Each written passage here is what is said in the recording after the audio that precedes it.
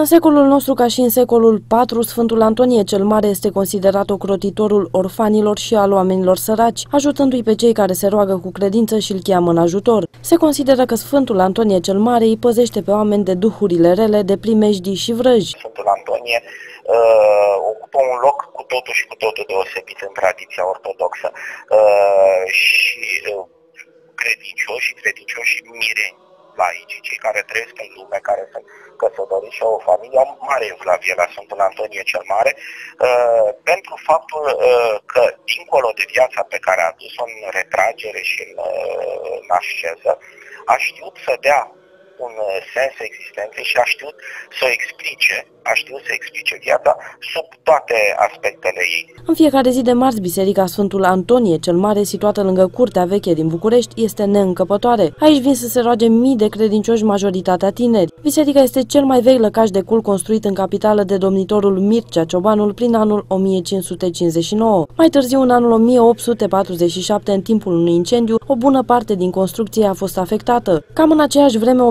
bisericuță cu hramul Sfântului Antonie, situată în apropiere, unde se închinau pușcăriașii, a fost distrusă complet de un incendiu. Martorii oculari din acea vreme spun că dintre ruine a fost salvată o icoană a Sfântului Antonie într-o zi de marți. Pe locul unde se află Biserica Sfântul Anton din București astăzi, uh, cu câteva secole în urmă s-a aflat acolo un, un penitenciar, o pușcărie, care uh, a ars în timpul unui incendiu și din toată uh, acea construcție nu a rămas decât capela și icoana Sfântului Antonie care se păstrează până astăzi în, uh, în Biserica Nouă uh, și care este neatinsă de foc, nu prezintă urme nici măcar de înnegrire. uh, și despre care credincioșii dau mărturie că uh, este făcătoare de minuni. Despre Sfântul Antonie cel Mare, părintele monahilor care a trăit 85 de ani în pustiu, se mai spune că tămăduia bolnavii și pe cei demonizați.